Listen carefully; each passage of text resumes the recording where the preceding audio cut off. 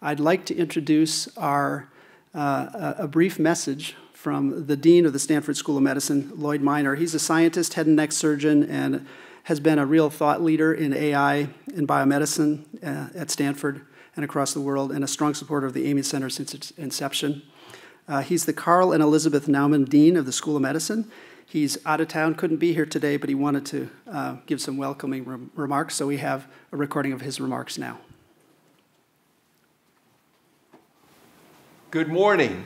I'm delighted to welcome you to the fourth annual Stanford Artificial Intelligence in Medicine and Imaging Symposium. In the last decade, scientists at Stanford Medicine and around the world have demonstrated the tremendous potential of AI and machine learning in medical research, care, and education.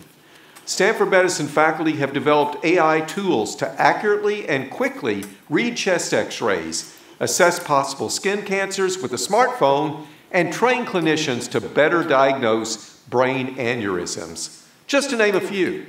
And with the exponential growth we've witnessed in generative AI and medical foundation models just these last few months, the possibilities appear to be limited only by our imagination. Symposia like this one are crucial to realizing those possibilities. Universities and academic medical centers are uniquely positioned and resourced to lead this revolution. But I would go one step further and say that we have a responsibility to do so. Because even as we explore and test what is possible, it is vital that we do so thoughtfully, that we ensure technological advances do not exacerbate health equity gaps, but help to close them.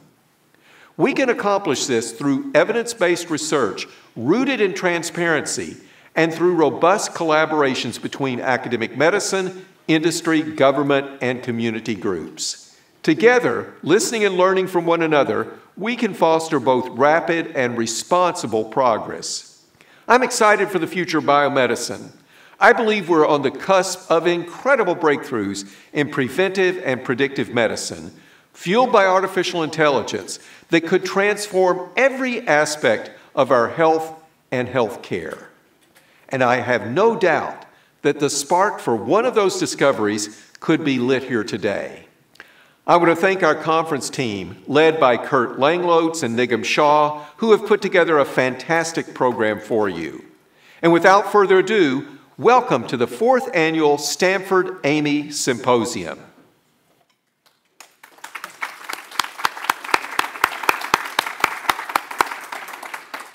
Well, thank you, Lloyd. I, I really appreciate his wisdom and support through uh, all of the years of uh, AIMI and really just building AI at Stanford more generally.